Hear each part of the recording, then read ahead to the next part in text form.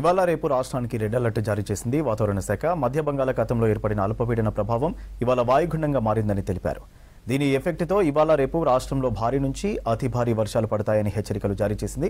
నల్గొండ నాగర్ కర్నూల్ వనపర్తి జోగులాంబ గద్వాల్ నారాయణపేట జిల్లాల్లో అత్యంత భారీ వర్షాలు కురుస్తాయంది. ఇక జయశంకర్ భూపాలపల్లి ములుగు భద్రాద్రి కొత్తగూడెం ఖమ్మం సూర్యాపేటలో భారీ వర్షాల అలర్టుతో పాటు రెడ్ అలర్ట్ ఇచ్చింది వాతావరణ శాఖ. ముప్పై నుంచి నలభై కిలోమీటర్ల వేగంతో ఈదురుగాలులు వీస్తాయని తెలిపింది. చూసుకుంటే సెకండ్ టైము రెడ్ వార్నింగ్స్ అవి ఇష్యూ చేయటము. ఇప్పుడు ఈ సెప్టెంబర్ నెల లోని అట్లాగే ఈ ఆగస్ట్ చివరిని చూసుకుంటే ఇది రెడ్ వార్నింగ్. సో ఇప్పుడు ప్రస్తుతానికి ఈరోజు రేపు ముప్పై ఒకటో తారీఖున ఒకటో తారీఖు సెప్టెంబర్కి రెడ్ వార్నింగ్స్ జారీ చేయటం జరిగింది.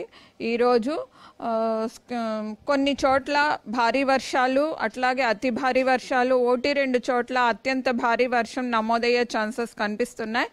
ఈరోజు చూసుకున్నట్లయితే ఎక్కువగా కూడా తూర్పు జిల్లాలైనటువంటి కరీంనగర్ పెద్దపల్లి నల్లగొండ జయశంకర్ భూపాల్పల్లి మూలుగు ఈ ప్రాంతాల్లోని అత్యంత భారీ వర్షం. అలాగే కొన్ని చోట్ల భారీ అతి భారీ వర్షాలు కూడా నమోదయ్యే అవకాశాలు ఉన్నాయి.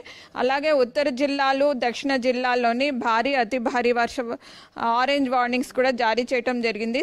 మధ్య బంగాళాఖాతం ఆనుకొని ఉన్నటువంటి ఉత్తర ఆంధ్రప్రదేశ్ మరియు దక్షిణ ఒడిశా తీరాల మధ్యన seventeen point five degrees north latitude మరియు eighty four point five degrees uh, east longitude వద్దన కేంద్రీకృతమై ఉంది.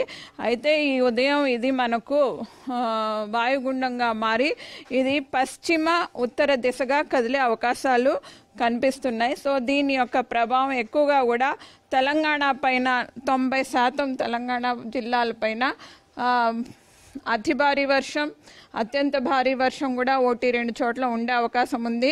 దక్షిణ జిల్లాల్లోని సెంట్రల్ జిల్లాల్లోని భారీ వర్షాలు కూడా నమోదయ్యే అవకాశాలు ఈ రెండు రోజులు కనిపిస్తున్నాయి. కరీంనగర్ ఉమ్మడి కరీంనగర్ జిల్లాలు జయశంకర్ భూపాల్పల్లి మూలుగు ఈ ప్రాంతాలు ఈ జిల్ జిల్లాలు ఏవైతే ఉన్నాయో అక్కడ భారీ అతి భారీ వర్షాలు ఒకటి రెండు చోట్ల అత్యంత భారీ వర్షం అంటే ఇరవై సెంటీమీటర్ల పైనే ఒకటి రెండు చోట్ల ఈ ప్రాంతాల్లో నమోదయ్యే ఛాన్సెస్ కనిపిస్తున్నాయి.